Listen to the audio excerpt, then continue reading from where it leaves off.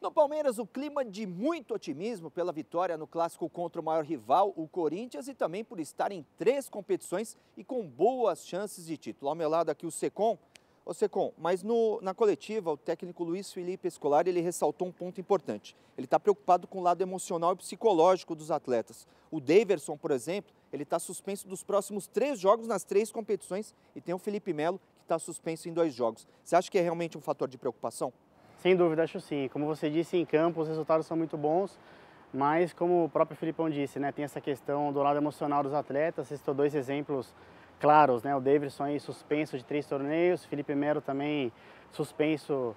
É, e por, são atletas experientes que, que cometeram atitudes aí é, equivocadas e vão desfalcar e prejudicar o time em momentos importantes, né? Copa do Brasil e Libertadores, aí respectivamente semifinal e quartas de final, são jogos mata-mata e, e, que podem realmente definir o futuro do clube. E você acha que é realmente um caso para se preocupar, por exemplo, o Davidson, ele deu um chapéuzinho ali, ele deu uma piscadinha no final do jogo, você acha que é realmente um fator para o técnico Luiz Felipe Scolari dar um puxão de orelha?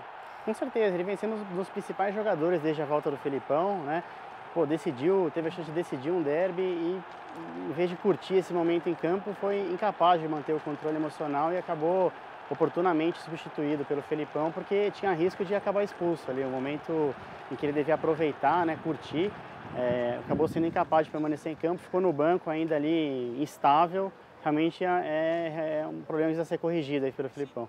No Palmeiras, o nosso bate-papo tem que ser muito rápido, porque são só 10 minutinhos de imagens de aquecimento permitido. Ele não tem o Felipe Melo e o Daverson, que estão suspensos. Bruno Henrique, ele apareceu no gramado, talvez ele pinte aí nesse jogo contra o Cruzeiro. O Borja ainda é dúvida. O que, que você destaca mais nessa atividade de hoje, Secom? Uma atividade de hoje a gente pode é, acompanhar aproximadamente 10 minutos apenas.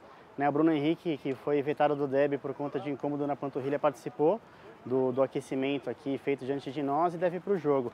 E outro, outra curiosidade aí, o japonês Sasaki, emprestado pelo Vice Kobe, a princípio o time sub-20, ele teve aqui, está aqui na academia e deve participar agora do treino com os, com os profissionais também. Período de testes aí então, né? Período de testes, né? Veio por empréstimo, a princípio para o time sub-20, não só ele está aqui, mas outros jovens da categoria de base, realmente para ser observado.